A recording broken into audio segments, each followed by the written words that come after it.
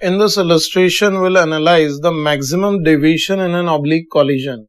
Here we are given that a particle of mass m1 collides elastically with a stationary particle of mass m2, where we are given that m1 is greater than m2. And uh, here we are required to find the maximum angle through which the striking particle may deviate as a result of collision. So, in this situation, here, uh, if we analyze it, uh, we are given that uh, the stationary particle is of mass m2 and one particle which is of mass m1 is coming and is striking this mass m2 at a speed u. Then in this situation, say if this x direction and this y direction, after collision, say this particle of mass m1 moves at a speed v1 at an angle theta 1 and this mass m2 moves in this direction with a speed v2 at an angle say theta 2 then the maximum value of theta 1 we need to calculate with which the striking particle is deviating. For this uh, we can conserve momentum and energy because collision is elastic. So we can write uh, by conservation of uh, linear momentum Here we can write in x direction or in y direction. Simultaneously, we can conserve momentum in vector form as m1u vector is the initial momentum of particle and after collision it is m1v1 vector plus m2v2 vector. This is the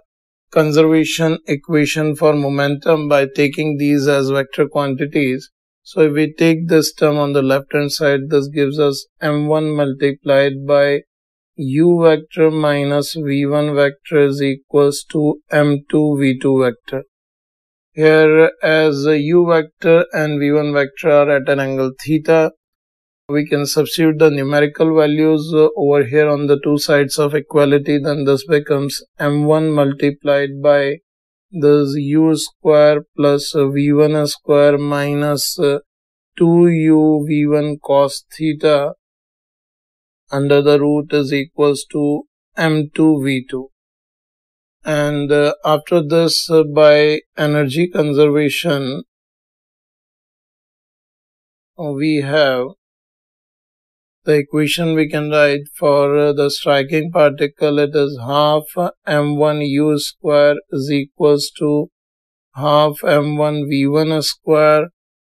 plus half uh, m2 v2 square. And the value of uh, v2 we can substitute from this relation over here. So this becomes uh, m1 u square is equals to m1 v1 square plus this m2 multiplied by value of uh, v2 square we substitute from here which becomes uh, m1 square by m2 square multiplied by u square plus v1 square minus 2u v1 cos theta. This is the value of uh, v2 square we have substituted here. And now this equation can also be transformed as a quadratic equation in V1 here uh, we can recontinue from this point. And if we rearrange this equation it can be written as uh, V1 square multiplied by 1 plus M1 by M2 minus 2 M1U by M2 cos theta 1 multiplied by V1 here you can see the value of angle we are using is theta 1 only plus uh, this is u square m1 by m2 minus 1 is equals to 0. Now there's a quadratic equation in V1 with which uh, the particle of mass m1 is moving after collision. So here we can write uh, V1 will have real values if uh, in this situation we can write this will have real values if the discriminant of uh, this equation will be positive. So here we can write b square minus 4ac that can be written as 4 times uh, m1 square by m2 square cos square theta 1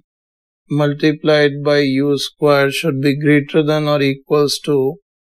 4 times uh, u square multiplied by m1 square by m2 square minus 1.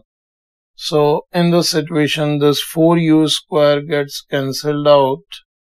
and uh, we can see value of cos square theta 1 will be getting is greater than or equals to this is uh, 1 minus m2 square by m1 square and if we uh, rearrange these terms we can write sine square theta 1 should be less than or equals to m2 square by m1 square or the value of sine theta 1 should be less than equals to m2 by m1. So from here we can get the value of sine theta 1 maximum is equals to m2 by m1. This implies the maximum angle at which the striking particle may deviate is given by sine inverse of m2 by m1 that will be the result of this problem.